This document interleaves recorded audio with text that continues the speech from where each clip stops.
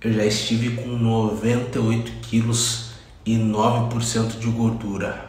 Agora faça uma captura aí, seus pau Capturem a tela, faça uma captura desse vídeo para vocês guardarem.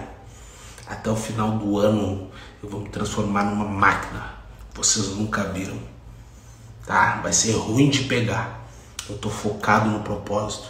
Eu já treinei duas vezes hoje eu vou treinar mais uma vez de noite, fazer um cardiozão assim, de se cagar a perna abaixo. Pode salvar isso aí que eu tô falando para vocês. Tô fazendo uma dieta, tô tomando 4, 5 litros de água por dia, tá fora. E vou meter bujão por cima. E depois não adianta ficar perguntando, ai, mas o que, tu tomou? Ai, mas como é que eu faço pra ficar assim? Ai, mas com dinheiro até o teu cu, rapaz. Te prepara. Eu vou virar uma máquina. E eu vou dizer para vocês mais, eu já tô sentindo a magia acontecer. Tá aqui, tá aqui, tá aqui. Eu sou negromorfo.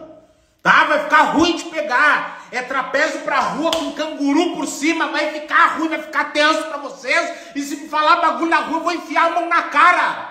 Ah, eu vou dizer pra vocês, ah, tô treinando saúde um cacete. Eu tô pouco me fudendo. Eu quero ser um nego gostoso do caralho tá? Que possa enfiar a mão na cara de quem me falar qualquer coisa na rua. É para isso que eu treino, para enfiar a mão na cara, tá? Saúde é depois.